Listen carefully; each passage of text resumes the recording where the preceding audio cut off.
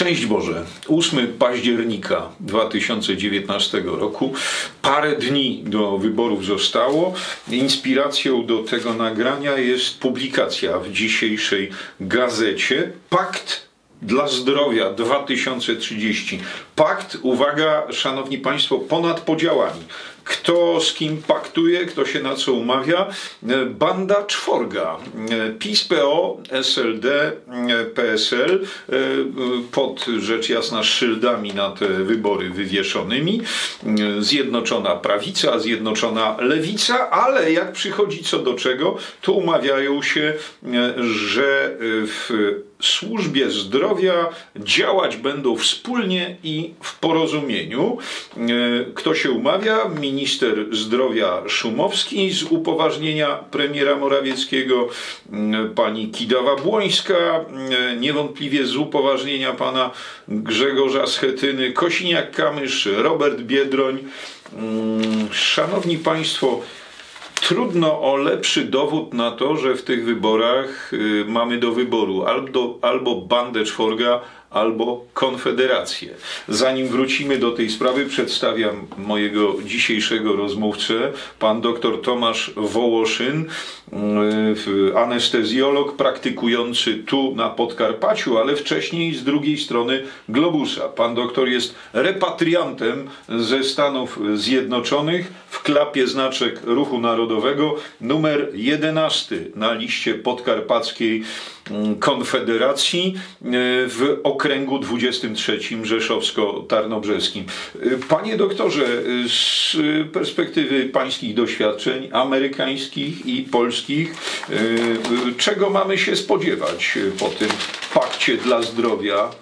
W punktach tutaj wymieniono E, wymieniono no, na przykład takie cuda jak dostosowanie działania szpitali, zwiększenie roli lekarza, wprowadzenie opieki środowiskowej, wprowadzenie obowiązku badań, gwarancje opieki, wyższy standard i tak dalej. Ma być dobrze, panie doktorze.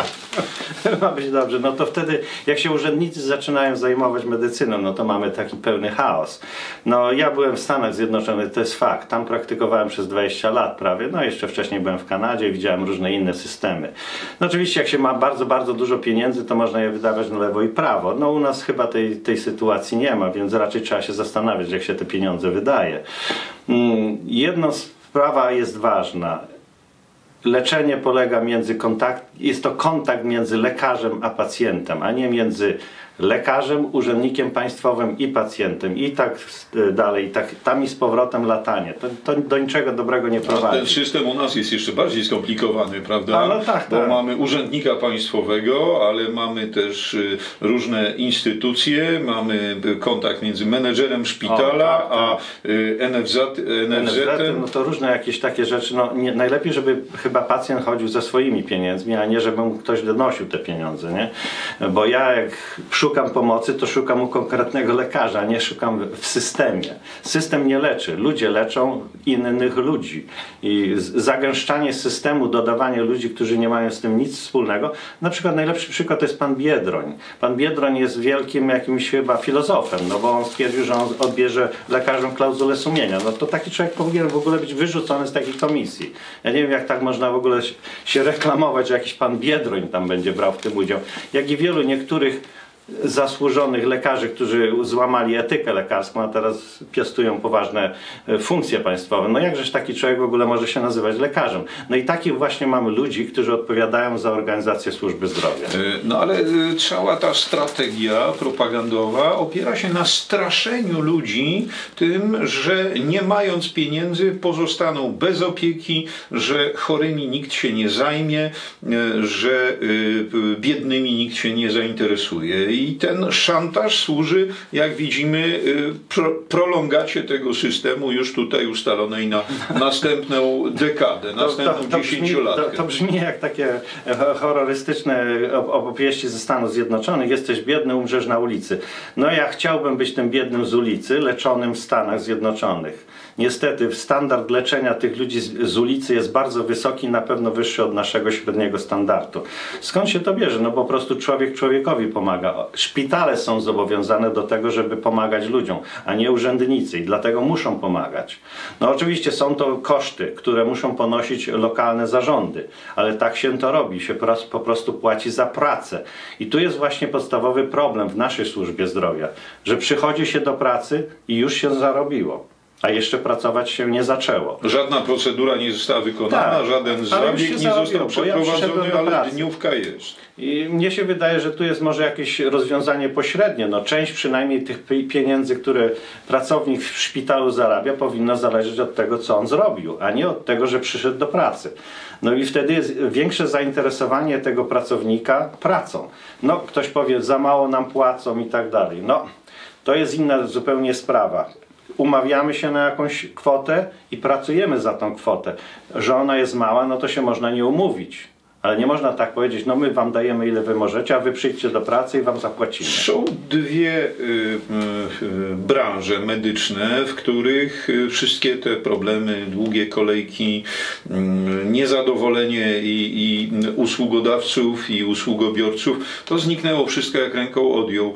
Y, pamięta pan, weterynaria no. urynkowiła się jako pierwsza, no i nie słyszymy o jakichś strasznych wypadkach. Konie nie narzekają.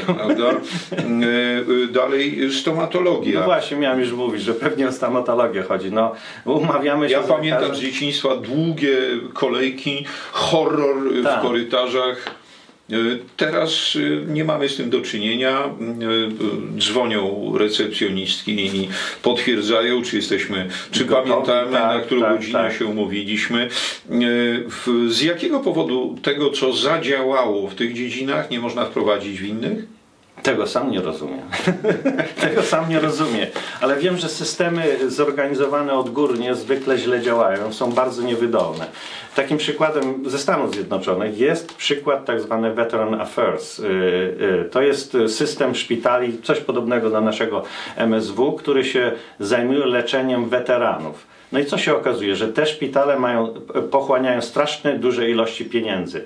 I typ, tryb pracy, który ja tam obserwowałem, bo pracowałem w tych szpitalach, jest około 50% wydajny w stosunku do prywatnej inicjatywy, tak zwanych szpitali prywatnych, gdzie wszystko jest zorganizowane i wszyscy pracują szybko i wydajnie. To Natomiast... jest to, co panu, y, co zwraca Państwo uwagę y, tutaj po powrocie do tak. kraju, prawda? Że, że skreślenie ewentualne planowanego zabiegu z listy nie powoduje niezadowolenia pracowników. Wręcz przeciwnie. Jest, wielu pracowników się cieszy, bo nie będzie musiało pracować, a tak już jest, ma zapłacone, więc po co pracować? Czyli coś skreślają, no to jest wygodniej dla mnie. Nie? Panie doktorze, największe obawy, jakie żywią także i nasi wyborcy, także i nasi słuchacze są takie, że jeśli rzeczywiście Konfederacja miałaby wprowadzać w życie te reformy, no to zostaną biedni biedni ludzie mm, sami sobie pozostawieni y, i kto się za nimi ujmie, y, kto się nimi zajmie, ludzie bez pieniędzy.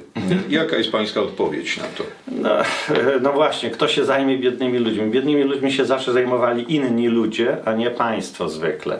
Państwo może y, tworzyć struktury, szkielety pewnych usług, ale nie powinno się wyko zajmować wykonywaniem tej pracy, bo sobie nie da po prostu rady. To jest nawiązywanie kontaktów między pacjentem a jakimś tam y, przedstawicielem służby zdrowia, czyli to jest pielęgniarka czy lekarz i wykonywanie jakichś usług. No niestety nie da się ustawą załatwić relacji międzyludzkich. To musi być relacja między ludźmi, a nie między państwem, pacjentem i jakimś tam Tutaj w Rzeszowie z początkiem tego roku e, taka się przydarzyła e, sytuacja anegdotyczna mhm. z siedziby ZUS-u i NFZ-u. Tu akurat e, w tym województwie to jest jeden gmach w mieście Rzeszów. Ewakuowano w wyniku fałszywego alarmu bombowego 700 osób. Niech pan to sobie wyobrazi. 700 osób y, pracuje na co dzień, krząta się uwija w siedzibie ZUS-u, NFZ-u w jednym tylko mieście wojewódzkim. Mm. prawda? No to jest ten ciężar, szanowny państwo, którego, szanowni państwo, którego żaden naród nie udźwignie, żadne państwo nie wytrzyma. No i cóż, my konfederaci chcielibyśmy ten garb zurzędniczenia, zbiurokratyzowania zdjąć z także lekarzy, bo jaka jest proporcja czasu w pracy lekarza przeznaczonego na praktykę medyczną i na praktykę biurokratyczną. No, to jest właśnie inny aspekt całej pracy lekarza. No ja akurat jestem w tej szczęśliwej sytuacji, że jako anestezjolog tej dokumentacji praktycznie nie mam.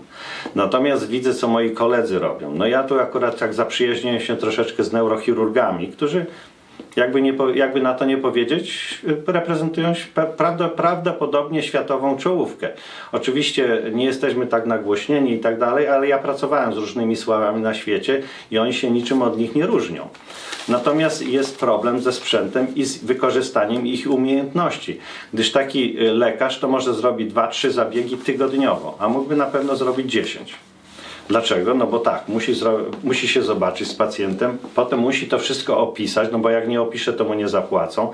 Nie wolno mu nająć nikogo, kto by mu w tym y, procedurze, w tej procedurze pomógł y, za mniejsze pieniądze, a on by w tym czasie mógł leczyć ludzi. Poza tym są różne ograniczenia, są jakieś, no już nie, nie wchodziłem y, w detale tych spraw, ale chodzi o to, że pewne zabiegi są refundowane przez państwowe instytucje, jeśli pacjent spędzi 3 dni w szpitalu. I teraz banalne zabiegi, które mogłyby trwać 15 minut, z wyjściem... Połączone są tak, z hospitalizacją tak, na... trzydniową hospitalizacją. Na trzy doby. Jest łóżko, jest blokowane, e, pacjent chce iść do domu, ale nie może. No, w zasadzie jest terror medyczny, można by to nazwać. No i praca nie postępuje, a można by wykonać tą pracę. Są często ludzie e, odsyłani i tak dalej, cierpiący, jakby nie było wyłączanie ze społeczeństwa, bo często są to sprawy, że e, dotyczą kręgosłupa czy czegoś, czy jakieś tam guzy i tak dalej, to ci ludzie są wyłączeni z produkcji automatycznie. Teraz muszą jeszcze czekać, żeby się ktoś nad nimi zlitował i wpuścił ich do szpitala. Szanowni Państwo, odpowiedzią na te problemy z całą pewnością nie jest cyzelowanie procedur biurokratycznych, z całą pewnością nie jest dalsze, głębsze upolitycznianie medycyny. My, konfederaci, opowiadamy się za odpolitycznieniem tej tak. sfery życia, tej sfery e, usług. Podobnie zresztą jak i w sądownictwie, jak w edukacji, jak w innych dziedzinach naszego życia. My pragniemy odpolitycznienia służby zdrowia, opieki zdrowotnej, e, tak, żeby wrócić do podstaw. Podstawą jest relacja pacjent, lekarz, Dzisiaj notabene lekarze, mówi pan o, mm, o etyce zawodowej, no, nie ma już nawet przysięgi Hipokratesa, tak, prawda? Tak, jest tylko jakieś przyrzeczenie zuchowe, mm, którego, no, któż się później będzie mm, trzymał. E, szanowni Państwo, głos na Konfederację będzie głosem przeciwko, tak jest, konserwowaniu układów PRL-owskich, jeszcze postsowieckich, temu konserwowaniu, które bez y, ogródek y, zapowiada y, na łamach dzisiejszej prasy układ, ta czwórka, gruba czwórka monopolistów na scenie politycznej, PiS, PO, SLD, PSL e, z przystawkami, rzecz jasna, z przystawkami, przeciwko nim Konfederacja za e, wolnością, za bezpieczeństwem, za zdrowym rozsądkiem. Polska przede wszystkim dla normalnych Polaków, normalnych e, ludzi. Szanowni Państwo, głosujcie na liście podkarpackiej w okręgu 23. Pan doktor Tomasz Wołoszyn na miejscu 11. Wspierajcie też naszą kampanię. Bardzo o to proszę, zostało jeszcze dni kilka, ale być może to dni decydujące. Mm, bardzo prosimy o darowizny na konto naszego komitetu, może właśnie z kierunkowym przeznaczeniem na kampanię Tomasza Wołoszyna albo na kampanię Grzegorza Brauna lub też, y, jeśli łaska, angażujcie się Państwo, jedno drugiego nie wyklucza, angażujcie się Państwo w tę akcję wyborczą bezpośrednio biorąc sprawy w swoje ręce to znaczy rozno- roznosząc bibułę, e, ulotki, plakaty, rozwieszając e, banery. E, No a po 13 października zobaczymy. Wybije godzina prawdy, czy ten pakt ponad podziałami zawiązany przez monopolistów partyjnych zostanie złamany przez Konfederację. Wszystkiego dobrego, z Panem Bogiem.